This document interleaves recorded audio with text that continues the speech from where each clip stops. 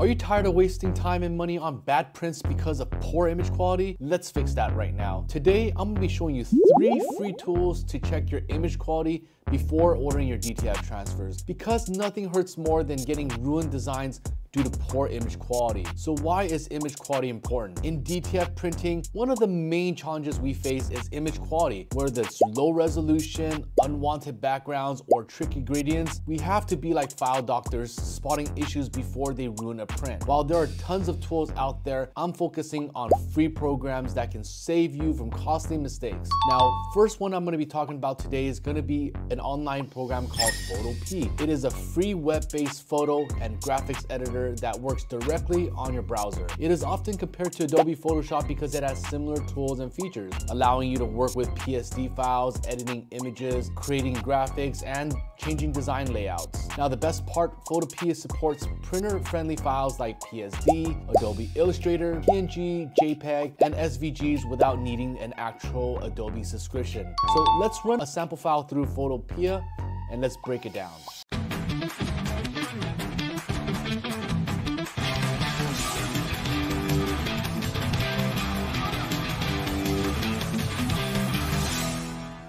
All right guys, first thing we're gonna do is head to Photopea.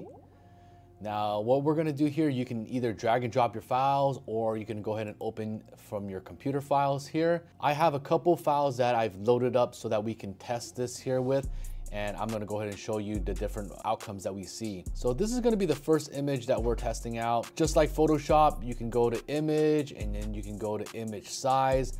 That will basically give you the DPI resolution with the dimensions. Now, as you see, the default is gonna be at pixels. I'm gonna change this to inches, and it basically gives me a 6.8 width by 8 inch height at 72 DPI. I'm not sure if you guys are familiar, but the best printing results you're gonna get is from 300 DPI. So this is actually a little bit less than optimal resolution that we like to print with, but overall it will print, especially if you're not gonna have to resize this or make this a lot bigger. So a quick action, just like Photoshop, Control Alt I is gonna bring up the image size. So I like to use this hotkey quite often if I'm doing any type of resizing. And let's say if the customer did want something like a 10 inch design, click that, click 10, it brings it to 10 by 11.74. That's enlarging it. So actually let me go back. I'm just gonna cancel this, do it again, uh, click on the resampling because you can see what happens when you enlarge it.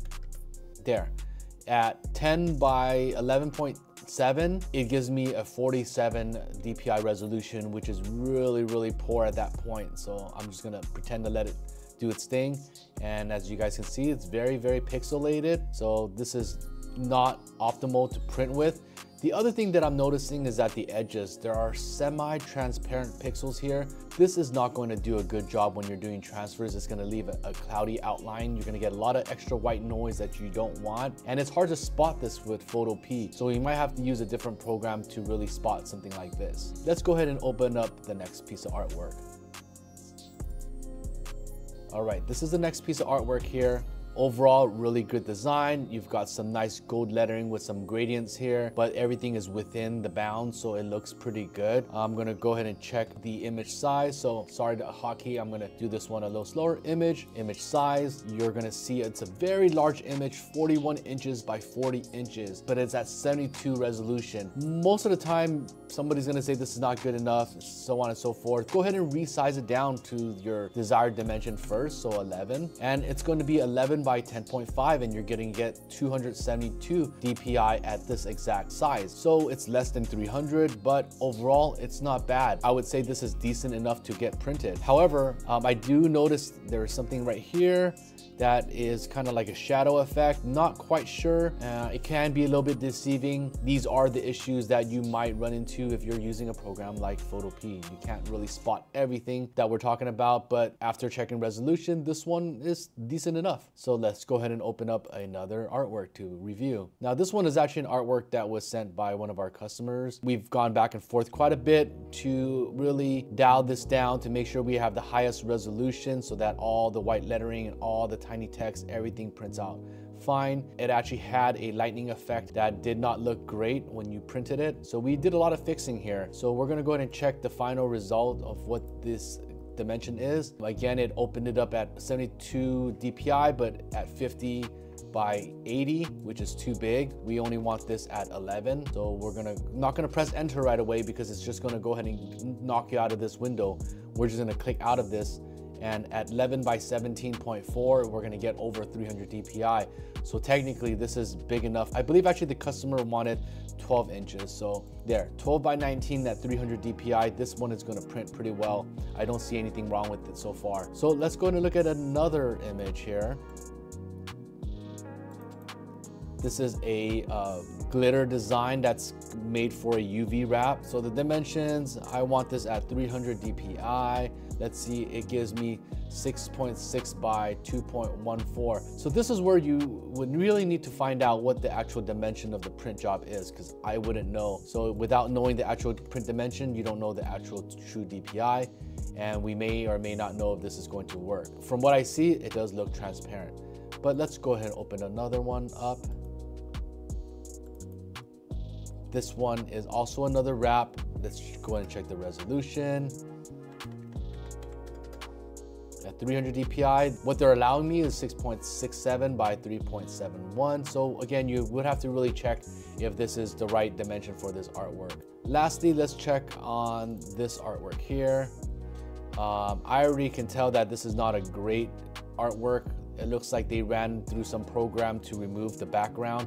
So there's a lot of leftover artifacts here. This one can be tricky, but let's go ahead and take a look at the specs itself. So image, image quality, and it is at 72 resolution. Let's go ahead and do 300. If we were to print at 300, you're gonna get really tiny 2.16 by three inch height artwork, which is, you're not gonna be able to print much with this one. The main thing is very fuzzy artwork images. Don't let this one fool you. It doesn't look good at all.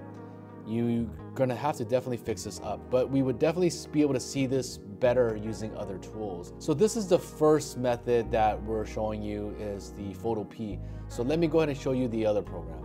All right guys, so for our second tool, we've got our print ready flow tool. This is an all-in-one tool that we designed in-house to help you prep your artwork so that you can order transfers like a pro. This tool will work as your personal pre-print checklist letting you thoroughly inspect your files with our file validator and it's going to help you remove any unwanted backgrounds clearly. And lastly, it's gonna help you knock out colors with precise printing. It is completely web-based, so there's no fancy graphics cards needed. Now, currently this tool is invite only, but if you want early access, check the link in the description below. We're gonna go ahead and give you an invite only link so that you can test this tool out. So let's go ahead and take a look at the tool that we have here. This is gonna be the flow. Now, there is gonna be a couple of tools that you're gonna be seeing here. The file validator, the color knockout, background remover, image upscaler, downscaler, image vectorizer. The one that we're focusing on today is gonna be the validator. Um, we're gonna go ahead and click on the validator. Now, it's gonna be able to accept files that are PNG, JPEGs, and up to 50 megabytes at this point. We can always make some changes in the future, but as of right now of this presentation, this is how it's gonna be set up. Let's go ahead and load up some artwork like what we did earlier. So into the downloads folder, we're gonna start with this image here. Now, as you see, it popped out so fast and it was able to analyze this image here. The cool thing about this image, I'm gonna bring it back here, is there are some gradient edges that you see around this image. On Photopea, you can't really tell what's gonna happen here, but if you use this tool, you can slide through and you can see the semi-transparent pixels. You can actually zoom in if you need to, but this gives you an idea of areas that are going to be printing with a little bit of white noise around the object because it's not a solid surface edge. This is a quick tool to help you know if you're gonna be getting that cloudiness around your artwork. Now, the other thing that it does if you scroll down is it'll tell you the resolution, the current size that it's at, the current DPI, the file size, and if it has a background or not. And if you're trying to get this printed, let's say your customer wants this at 11 inches. Let's just say you're at 11 inches. Well, I'm just gonna scroll up It will bring this with the ratios at 11 by 12.88. And it's gonna have analysis that says that it's pretty low in resolution and you need to increase it by 255 at this point in order for this to print out very, very nicely. So already it tells you there is some fixing that needs to be done. This is not going to pass the checker. So let's go ahead and upload another file. Let's go and take a look at this one. This one is the file that would normally cause a lot of headaches for a lot of people. A normal person would just go ahead and prep this file, get it printed. As I mentioned earlier, little do you know, there is actually a little bit of shading around this edge right here. And if I bring this swipe through, you can see the transparency in the image. This semi-transparent image is gonna print this cloudy noise around the artwork, which is gonna show, especially if it goes on a black shirt. You're not gonna want that. This tool will help you catch that right away. And if you zoom in, you see the edging little bit of white, but overall very, very solid. This is going to contract perfectly. You're not gonna see an outline around the print. It was also uploaded as a very, very large size, so 41 by 40 inches almost, which is huge. If I really needed to downscale this to let's say 10, 10 inches is really what I wanted to print. It shows the analysis passing all everything. So this is good. It would pass what you're trying to print at 300 dpi the only thing is, it would have this extra shadow effect, which is not desired. This is gonna save you money if you catch artwork like this. All right, the next one we're gonna load up is this artwork here. Let's go ahead and bring this map over.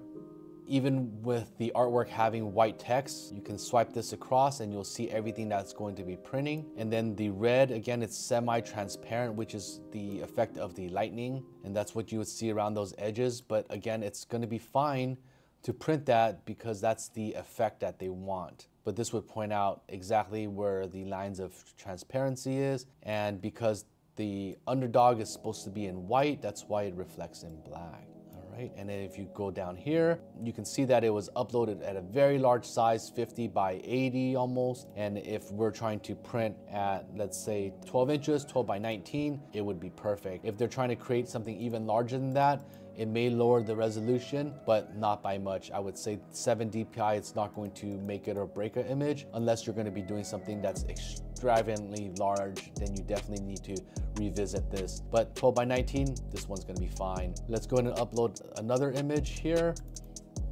and this is going to be the UV cup wrap. I can tell that everything looks good. There is transparent. There are some semi-transparent in between there, but overall looks pretty good. If we're going to do this one at, let's say nine inches, it's a little less than optimal. But again, this artwork here, I'm not exactly sure the size that we're printing with, so it may or may not work. But this one here, it turned all black because this is not a transparent background, completely solid. So you will have to figure out if this is the effect that you want. And if you're trying to do something like so, resolution does need to be increased a little bit. Now let's go ahead and load this other artwork here. I'm gonna go to swipe. Whoa, see, this is a good example of the artwork that is really, really bad. They ran it through some kind of background removal. It's a quick job to get done, but if you look and swipe at the transparency, there is so much leftover artifacts everywhere. It just does not look very, very clean. You see those lines? It just does not look clean. Hard to really tell. So you definitely would want to vectorize an artwork at this point to get the edges sharp, remove this extra black outline around the letters. That's how you would kind of fix this. But let's look. Decent size, 9 by 13, but it's low in resolution. It's not optimal to print with. They want you to increase this by at least 228 in order to be at 300 dpi at the 9 by 13 dimension. So this is the second way of a validator. You don't need to have Photoshop to look at anything. You can basically look at here, get it, everything analyzed. It'll tell you whether it's good or not. You can also check on backgrounds very, very easily here. So this is the second method of getting it done. Now I'm gonna go ahead and jump into the third method, and this is gonna be right on our website. It's gonna be our gang sheet builder. So this is transfers you're gonna go ahead and head over to Gang Sheet Builder, whether it's regular DTF or UV, they both work well. Choose the gang sheet of your size. You can choose any one and edit it afterwards. We're gonna click on build your gang sheet and this is gonna take you to the builder. You technically do not need to be ready to order your transfers to use this tool. You can use this tool for free, save it on your profile, come back and revisit it later if you need to but the main thing is it is free and it is really easy to use. Now, once you're in this builder, go ahead and upload the images that you're gonna wanna work with. I'm just gonna go ahead and upload all of this. I added an extra image there, doesn't really matter. I'm gonna go ahead and load everything all at once. This is a quite a bit of images, so I'm just gonna go ahead and change the artboard, make it a little bit bigger. Gonna wait for everything to populate. So this one detected a background. Um, this one has an intended background, so I'm just gonna go, go ahead and continue as is. Now let's go ahead and start popping these in here. I am just going to pop them all in there. Let's go ahead and play around with the dimensions. Okay, so now that we have all our, our artwork laid out, obviously it's not efficiently laid out, but the main thing I'm gonna do here is to show you guys how to read image quality. So the first one I'm gonna click on is going to be this cross image here. Um, I can always zoom in if I need to. In case this one has a black background here, I can technically go to the settings on the left hand corner, change the background so that I can see the displays very well. See, if I did all black, he gets a little washed out, so I'm not able, able really see. So if I stuck with gray, I'm able to visually see this. And no, it won't carry on to the print. You're fine to actually uh, leave it like this when you check out with the order. Now, going back to the first object here, it is at a 2.16 inch by 3 and this is at 300 resolution it has the green outline around it so it is showing you that it is optimal at this size but uh, again guys it wasn't perfect. We saw all the blemishes that this artwork has, but technically if you wanted to print it as is with this size, it will print. Now, if you want to increase it to make it fit onto a shirt, you're definitely going to lose image quality. Let me go ahead and make a bigger sheet so I can spread this out a little bit. I do want to display this without anything blocking, so let's just move it there. So now it changed this resolution. Let's say I want to print this at 7 by 10 the desired dimensions for the customer. It brings the DPI resolution at 92 right here which of course is less than optimal. So this is not what you wanna do. If I click on this artwork here, it shows this is at 6.6 by 2.41 and it looks pretty good in resolution, 300, just like this one, 300 resolution. If I'm happy with these sizes, it will print and it will print fine. This one right here, let's see if I'm actually able to zoom in and catch any of that through here. So if I was to do this and then I want to change the background to let's say per se uh, red, it's not very, very clear because it's web-based. But this is going to print out a little bit of a white fuzz noise around the print. You would have to catch this before printing it. That's something that's a bit difficult you would have to go back to the number two tool checker in order to properly catch this. Lastly, this image right here, if the actual intended image was about seven inches, definitely low in quality. It only brings us at 71 DPI. Printable, but not ideal. This one right here, a 12 by 19, 300 DPI, high resolution. This one is gonna work just fine. Just like our Transfer Superstars logo, it works just fine unless you're trying to blow up too much, then you start to lose some resolution. But other than that, these are free ways to check out image quality. Let me know if you guys have another free way of doing it. I personally love all these methods here. I think there is value in between each one, but it's most importantly right now that I get your feedback in, into our tools so that we can understand and develop a better tool for you guys. So make sure you take advantage. Click on the link in our description, take advantage of this tool, play around with it. Give us your feedback. We'd love to hear your comments below. Hope you guys found value in this video. I'll catch you guys on the next one.